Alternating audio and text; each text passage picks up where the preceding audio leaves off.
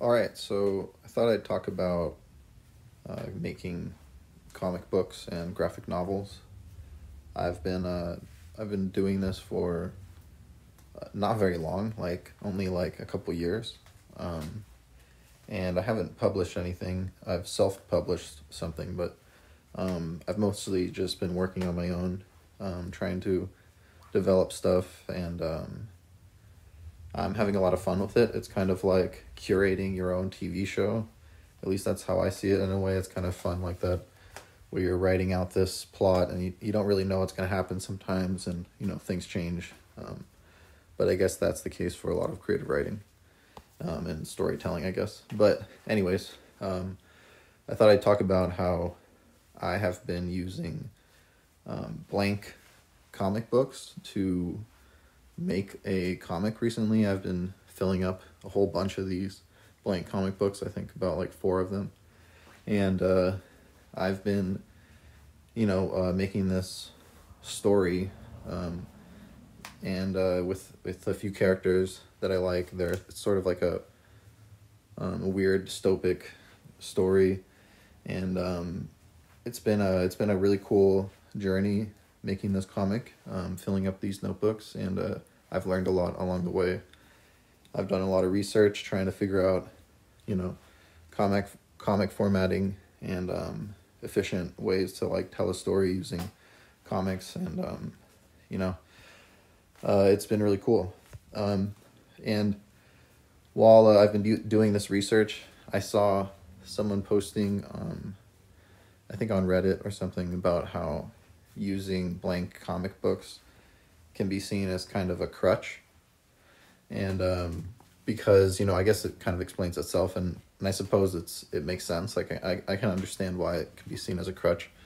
Especially because um, there's not that many blank comic books out there that do a good job of um, of like giving a comic book writer a kind of steady stream of pages that have good formatted frames that um, are versatile enough to um, be used for a lot of different types of framing, but um, not too like elaborate or crazy um, that can be kind of distracting or can kind of demand a certain type of for, uh, storytelling. Um, I think the I think the blank comic books I found they're made by um, think the they're called um, the Unemployed Philosophers Guild. Um, they made these really great ones that I found. Well, I got my first one as a gift um, for my girlfriend, and uh, I think she probably regrets that gift at this point because I've been um, working on these books for a long time. Um, it's been taking up a lot of my time, but you know, it's a lot of fun. It's kind of the point. Um, and uh, and uh, yeah, these ones are really great because somehow this unemployed philosophers guild company um, managed to have this like repeating um, i think like four or five or six pages of um, frames that like it's like six pages but each page has like a different um, use of framing. Like it has like different size frames. Like one has like a giant frame at the bottom with like three skinny ones at the top and um, you know there's few vari- variations um, and uh, somehow this has worked really well for me where each time I turn the page, I don't really feel like I'm burdened by some crazy format that I've seen in a lot of other blank comic books. I've seen like I don't know. I've seen some really weird um, designs that almost seem distracting. Like I've been to Target and I saw like these blank comic books that have just really strange frames that um, I just feel like are kind of distracting. Um, and and I've I've seen a lot of this in um, in Amazon uh, products too, where just the frames look really weird. I, there's a lot of good ones too, but these ones are the best I think, just for me. Um, the frames are all just like regular shapes. Um, they're not like slanted or anything like that and um, each book has about like 48 pages i think um, So they're kind of small books, but I kind of fill them up fast. But it's nice. They're really portable. They're really small, um, but they're not too small to be like you can't be too detailed. And I feel like they're almost like just small enough to be a size that you don't get um, too caught up in making it a super detailed image. I think um, as like a person that's trying to make this um, graphic novel by myself, I uh, I could definitely waste a lot of time on details. And when you have something small like this, and you have to work within these limits, uh, I think it I think it makes me tell the story faster and get it out of my system, and definitely free me up to work on different projects in the future. I remember I saw a YouTube video uh, recently about I forgot the name of the video, but um, the uh, the narrator was a graphic novelist who made a novel that took him like you know 10 years or something i don't know exactly and he was talking about how he wanted to um, pick up his pace with making these because you know he wants to make a lot of books. He doesn't want to just make a few extremely detailed books. And i think i agree with that and i think these books are helping me to do that.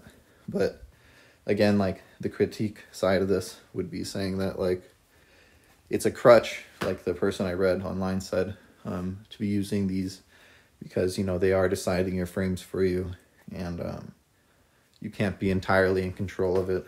Um, it's almost like um, it's almost like some type of preset you know formatting which i guess is exactly what it is um, and i can understand how that is like not desirable sometimes it can be limiting using this where i can't you i can't really make the frames more unique in certain situations. Like if I have like a really, you know, dramatic mo- moment, um, I can't you know erase the frame and uh, and make it really like, all right, and or you know I can't really take over the whole page with an image and stuff like that. But you know I suppose I actually could do those things. Um, just after I scan the pages and put them in a computer, I could erase these lines and um, really take over the whole thing. But I understand how maybe and and also you know I, I don't I don't know what it's going to be like as a reader.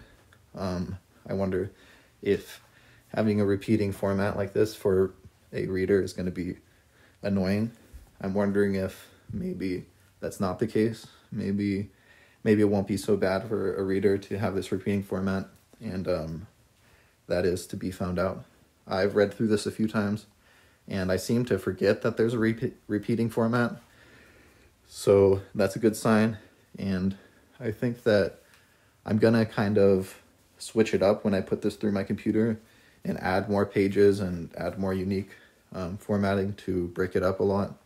And I think that's going to solve any of those problems uh, in a post production type way, I guess.